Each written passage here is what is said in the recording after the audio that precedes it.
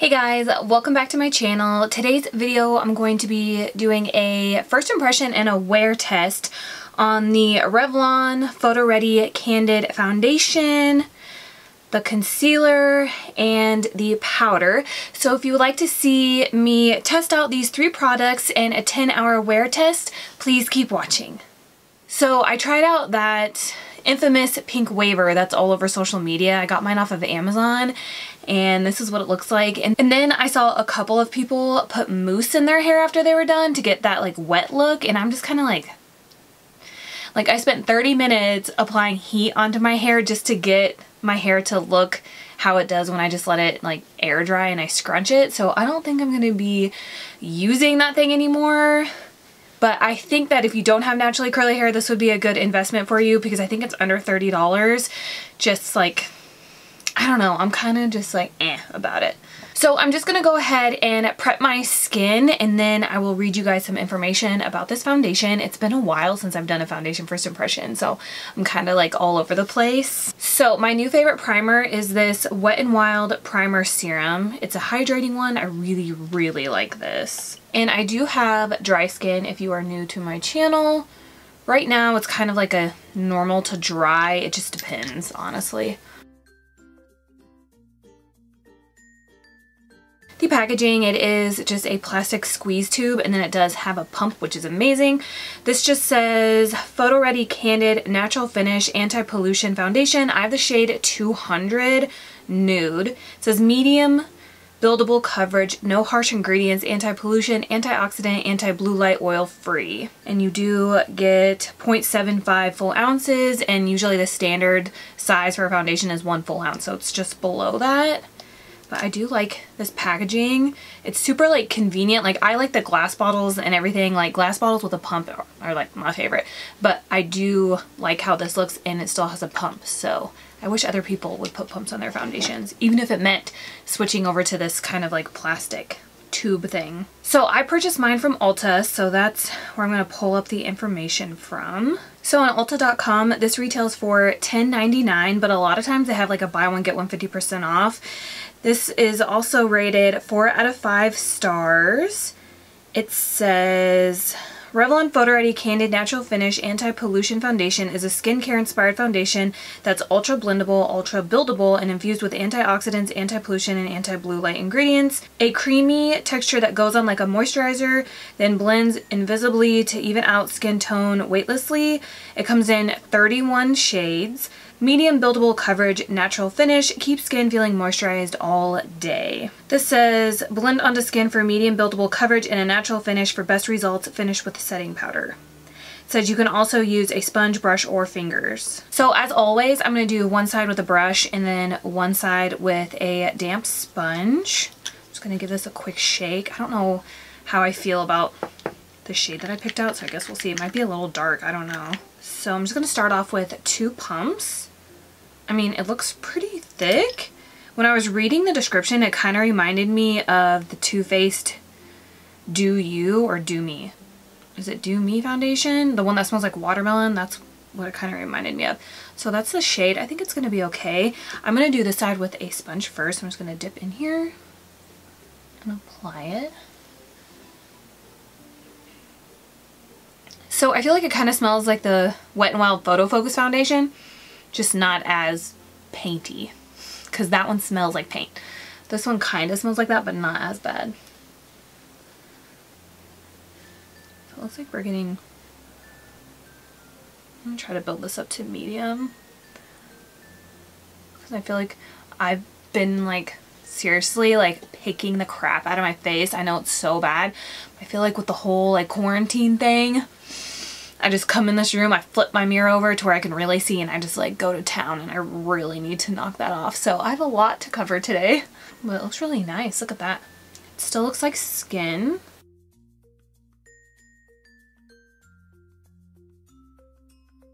And it doesn't feel heavy at all, which I think was one of the claims. I think it said weightless.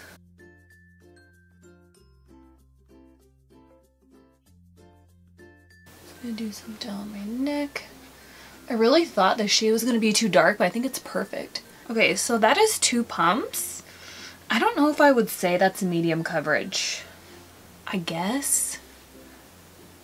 And to me, it looks like it's drying down to more so like a matte finish. I think it said natural finish, right? But that to me kind of looks more matte. So I'm going to do two more pumps. And then I'm going to do this side with my Tarte foundation brush.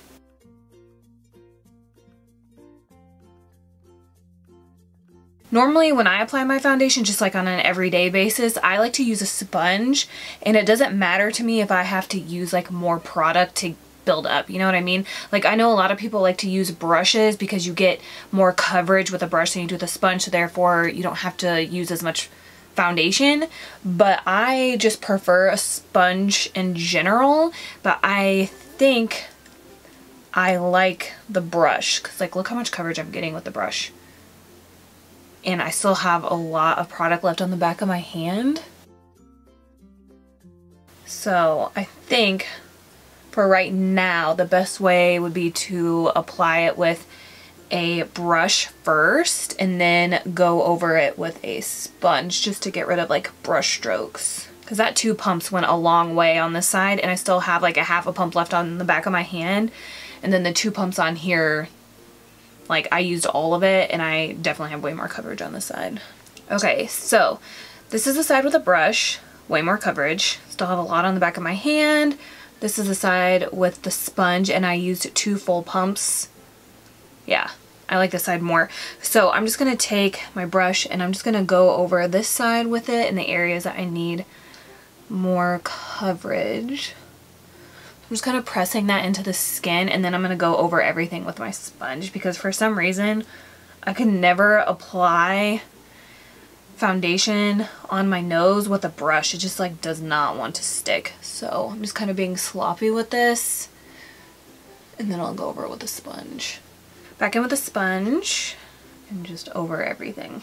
So I have eye cream on and I stopped applying eye cream on the days that I know I'm going to wear makeup because I noticed that the makeup does not sit well on top of that and it looks horrible underneath my eyes right now. So I'm just going to take a makeup wipe and I'm going to try to wipe off some of that eye cream that I applied and then go back over it because that does not look good. Okay, that looks so much better. So this is what my skin looks like up close. I feel like it kind of clung to a few dry patches and I know it said natural finish, but to me it's definitely pulling more matte and it went straight into my forehead crease, which is my favorite. Let's see if I can pounce that out. I feel like I didn't really get any coverage on my forehead. I don't know. I could still see things. But I don't want to put any more foundation on because like I said, it's pulling like pretty matte but it does look like skin. Like for medium coverage, I feel like I can still see a lot of things, which is okay as long as I have a full coverage concealer. So I guess we're really going to see what this concealer can do. But I don't know. So far, I'm just kind of like, this is a maybe for now. So now we have the concealer I'm going to be trying out. So it just looks the exact same as the foundation, just a smaller version. This I have in the shade 15 Light. Says concealer with caffeine, antioxidants, anti-pollution, anti-blue light, without sulfates, no harsh fragrances, oil-free, medium coverage. I do think it's cute that they just made the concealer look like a mini version of the foundation. I really like that. I think that's cute. So I actually purchased my concealer from CVS, but they do have it on Ulta.com. This retails for $9.99 and it's rated four stars out of five. And again, like I said, like Ulta always does the like buy one get one 50% off, so just keep a lookout for that. Or they have the $3.50 off coupon all the time. So this says Revlon Photo Ready Candid Antioxidant Concealer is a skincare inspired concealer that's ultra blendable, ultra buildable, and infused with antioxidants, anti-pollution, and anti-blue light ingredients. Suitable for sensitive skin, camouflages under eye puffiness, bags, and dark circles. It comes in 18 different shades. Doe foot applicator, perfect for applying to delicate eye area. Medium buildable coverage, natural finish. Says use plush applicator to apply product directly to areas where needed to cover under eye circles and blemishes. Blend into skin with fingers, sponge, or brush for best results. And then it says use the Photo Ready Candid Natural Finish Anti-Pollution Foundation along with it. So I always like to blend out my concealer with a brush first because I feel like I get the most coverage and then I go over everything with a sponge. So that's what I'm going to do today. Ooh, that is a weird looking doe foot. Oh, and it's yellow. Great. I hate yellow concealers. It just does not look good on me unless I have a tan and right now I'm super pale so this is gonna look awful. Great. Ugh. I'm seriously cringing while I'm looking at this. The applicator is a little weird, but I don't hate it. But oh my gosh, you guys, this concealer shade is not for me. Like, I don't understand, like, why they can't just make... Like, when you buy a light shade of concealer, it should be a light shade. I don't know why people always make the lighter shades, like, a yellow undertone. I don't know, I just... Not a big fan. So even if I do like this concealer, I'm only going to be able to wear it when I have a tan because this yellow is killing me. Oh my gosh. Okay, so now I'm going to use my Morphe E45. Maybe when I blend it out, it won't pull as yellow. It does seem like it's drying down pretty quickly. So when I'm looking in the viewfinder, it looks like nice coverage. Like it looks kind of full, but when I look up close, I can still see like everything. But it seems like the shade is blending out nice. Like it doesn't look as yellow now that I have it blended out, but still that's not, I don't like that. So I'm just going to do the center of my face with my sponge. And I don't think I like the formula. Like, I don't like how this concealer feels. It feels like, I don't know, it doesn't feel creamy. It just feels like really like thin and just weird. I don't know. So I just went over the center of my face with the sponge, which is what I use to apply the foundation, and it pulled off. It pulled it off right here and on my chin. Can you guys see that? It just took off all the concealer. Weird. Why did it do that? Oh my gosh, that looks horrible. I don't know why it did that yet. Okay, so it looks so cakey right here. And when I tried to use a sponge, it pulled off my foundation. Same with my chin. I'm pretty sure I heard really good things about the foundation and the concealer, hence why I bought them. But oh my gosh. I am not a big fan. I'm going to try to apply some more concealer because it did say it was buildable. So I guess we'll see. It doesn't look horrible underneath my eyes, but for some reason it does not want to stick onto my nose or in between my brows or here, which is weird. I need to cover up that pimple. We'll see. I did buy the glowy version of this too, so maybe I'll like that one better. We'll see. I'm to use my brush to see if I can get some more coverage.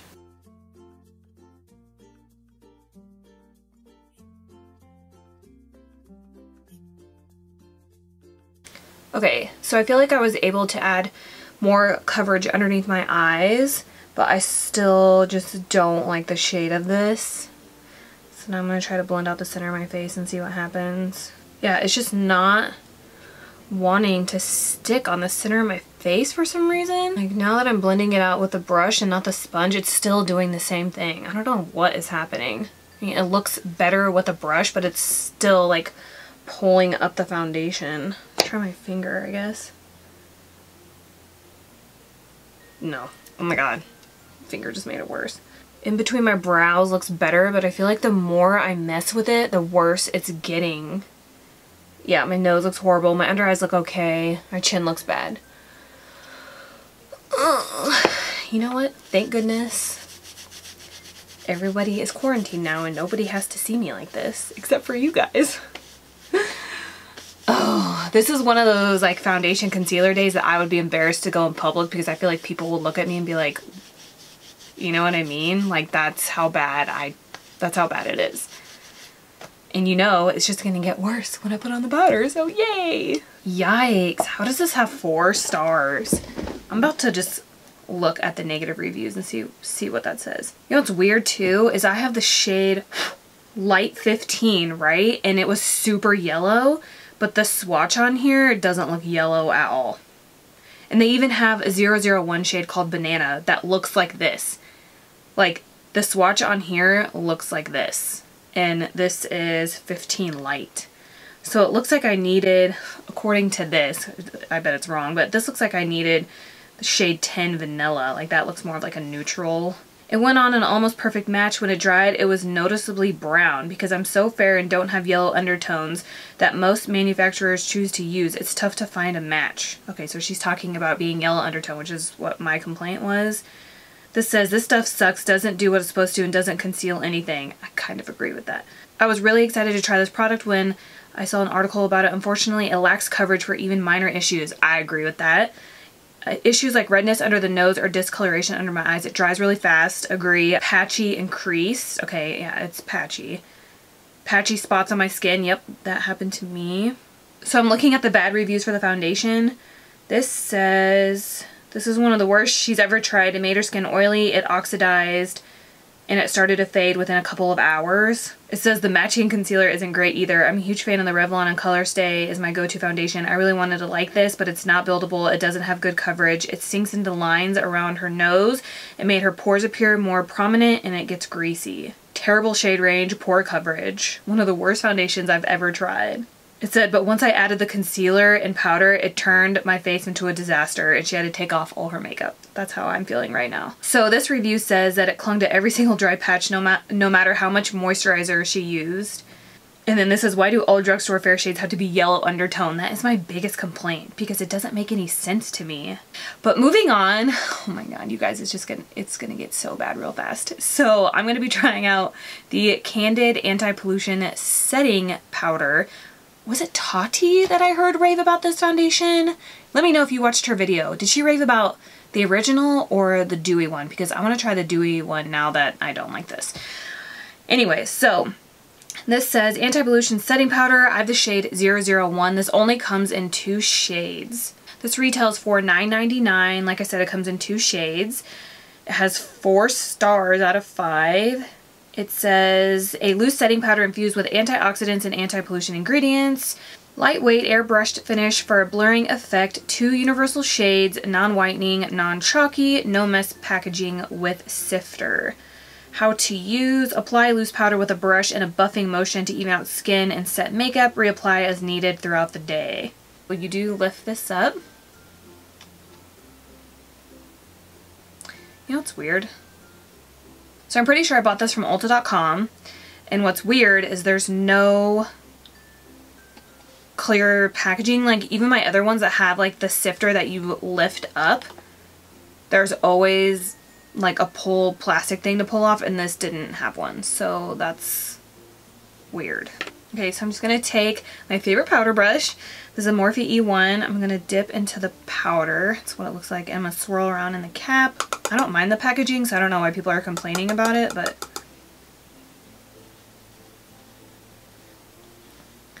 I don't think I'm going to use this powder to set my under eyes because if I think if I do that, it's all over. Like maybe I can try to make this work, but I know if I try to apply this powder on my under eyes, it's gonna be game over.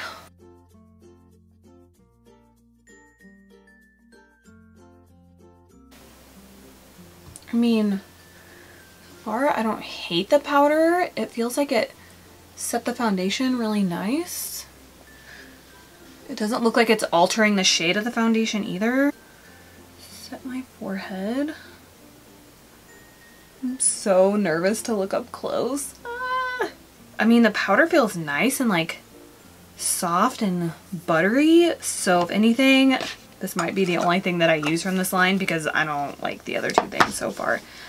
Okay, I'm gonna look up close.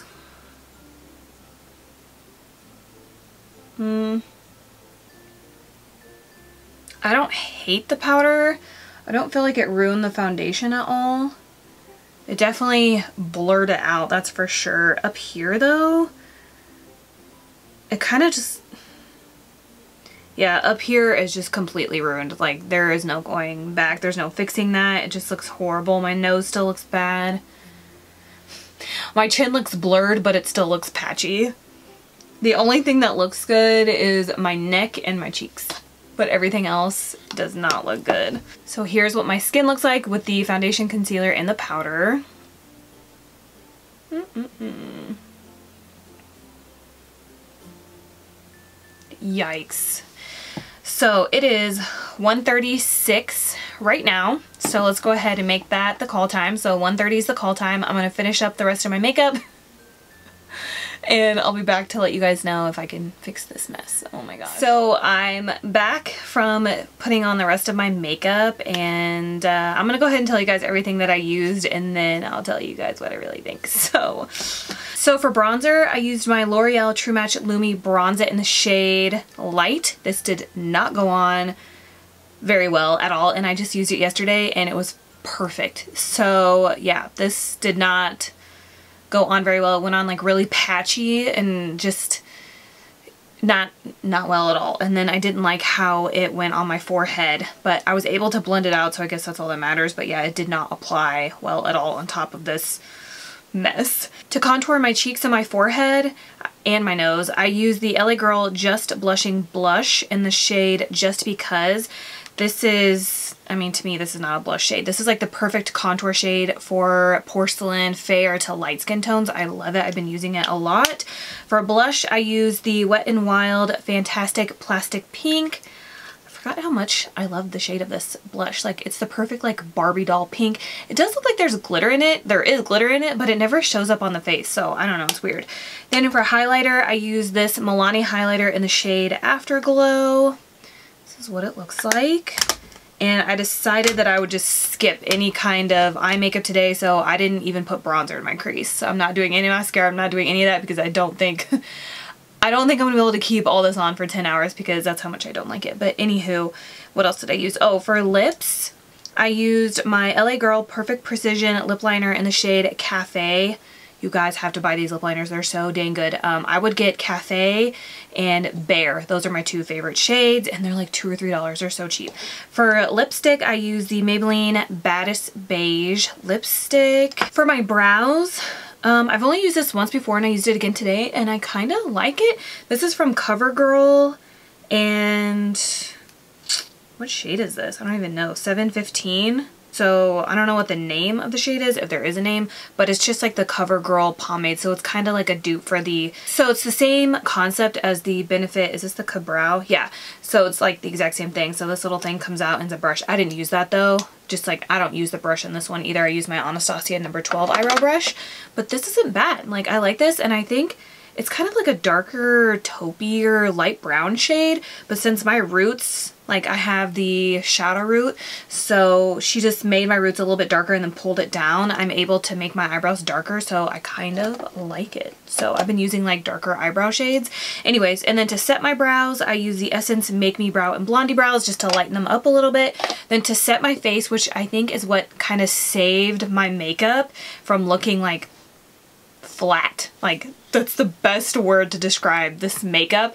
I used my MAC Fix Plus and then I spray this real quick and before this dries I go on top with an actual setting spray. So I just use the Morphe Continuous Setting Mist and then I just used my handy dandy fan from Amazon and I feel like that kind of brought a little bit life back to my face but I'm still not liking this like it looks better, I'll give it that, but my nose still looks horrible. Like when I was trying to contour my nose, like I always contour my nose, I like couldn't even like blend the cream contour shade, so I gave up, and then I just like patted over it with the foundation brush just to try to erase it, and then I went over it with the LA Girl contour thing, contour blush shade, and it like, it was just like taking off the foundation and concealer. Like it was just not working out. I feel like I fixed it as well as I can like I fixed it as good as I can get it is where I'm at right now. But the center of my eyebrows still looks so bad. I do have bangs, so that kind of helps because you won't even be able to see it, but still you shouldn't even have to worry about it, you know? My nose looks bad, my chin looks bad. So really just here looks horrible. And then I used my Laura Mercier Secret Brightening Powder to set my concealer, but This didn't crease. Like normally concealer creases so much on my eyelids, but it didn't crease at all and it didn't crease on my under eyes either. But I hate the shade of it. Like this right here underneath both of my eyes, like this area in particular is pulling yellow so much. It's driving me absolutely insane. Like yellow concealers do not look good on me unless I have a tan and I do not have a tan. So the shade of that is really bothering me like right here. But other than that, like I think my cheeks look good. My cheeks, my neck and my jaw look fine, but everywhere in the center of my face is is this shit show. And like I hate my under eyes. Like they look so bad but that's just because the shade of this concealer is yellow. But anyways let me zoom you guys in so you can see what my skin looks like up close. So this is what I look like. Hopefully you can see everything I was just telling you. So the call time's 1:30. it's probably like 2 o'clock now yeah, 159 right now. So I'm gonna come back in four hours. I usually do like a four hour check-in, an eight hour check-in, and then two hours later is like my final check-in. But I, no promises this time am I gonna be able to keep this on for 10 hours. Like I will try my hardest, but if this starts to look even worse, there's no way it's gonna get better, right? They're just, just there's just no way it's gonna get any better. But anyways, I'll try to keep it on as long as I possibly can. So I will try to come back in four hours, but if it starts to look ridiculous in two hours, I'll come back sooner. So we'll just see. But yeah, I'm gonna go ahead and go throughout my day. Thank goodness I am not going anywhere today because I'd be so embarrassed for people to see how this looks. Oh my gosh. Anyways, I'll see you guys here in a little bit. Hey guys, so I'm running a little bit behind, story of my life. I'm doing a check-in. It's 6.15, so I've had this foundation on for five hours, I believe. And I decided that I was going to organize all my lip products today. So I went down that rabbit hole and that lasted about four hours and I'm still not done. So I'm currently taking everything off my lacs and putting all my liquid lipsticks together, my lip glosses and my lipsticks. And oh my gosh, like I need to do like a declutter video ASAP. But let's go ahead and look at this. Surprisingly, it looks better than it did five hours ago. This right here doesn't look as cakey anymore. Neither does my chin or my nose. Cheeks still look good. It went into my laugh line right here. Other than that, I mean, it looks better now, so maybe I will keep it on for the full 10 hours. Here's what my skin looks like up close yeah, for some reason, it just doesn't look as cakey now that everything just kind of like settled into my skin. Still don't like it, but it does look better. So I'll see you guys back here in about three hours for my eight hour check-in. Hey guys, so I'm back for my final check-in. It's 9.21, so I've had this foundation on for eight hours. I decided that I'm not going to keep it on for the full 10 hours because there's like honestly like no point. I'm never gonna wear this again. But I just wanted to look up close and see what it looks like. Mm, it looks really greasy right here, which is pretty normal for me. For some reason, my entire face is dry, but right here is always oily. Even when I don't wear makeup throughout the day, if I just have moisturizer on, like this spot is always oily all the time. So that's pretty normal like I said in my last check-in, it looks better than it did when I first applied it, but I'm not trying to wait three, four, five hours for it to look good. Like I don't want to go in public and it look all crusty, cakey, and patchy, and then five hours later it looks good. You know what I mean? So this is going to be like a hard pass for me, even the concealer. Like I could probably use the foundation again, honestly, but Actually, no, I can't. Why am I lying to myself? Um, maybe these would be better if they were separate, like maybe together they're just not a good combination. Since I don't have a lot of yellow undertone concealers because that is not something that I intentionally buy, the only um, yellow undertone concealer I have is the Born This Way Sculpting Concealer from Too Faced and I use that whenever I have a self-tan. So I'll probably just keep this just to try again after I do another self-tan because it is yellow and that's the only time I feel like that looks good. So I'm going to try this with like a different foundation and see how I feel about it. But this is just, like I said, I'm not going to even get any use out of this because I'm only tan like a a few times out of the year. So yeah, I don't know. I would still pass on the concealer. There's way better options at the drugstore than this. This is 10 bucks. You can get the Maybelline Fit Me concealer, I think for five or under. You can get, what else do I like? You can get the new Maybelline 24 hour Superstay concealer. I think that is probably around $10, but that is so good. That's my favorite drugstore concealer at the moment. So there, those are just a couple that you can pick up that are a thousand times better than this Revlon Candid. Like I can't, I can't deal with that. Um, like I said, the foundation, I don't know. I don't feel like it was a natural finish.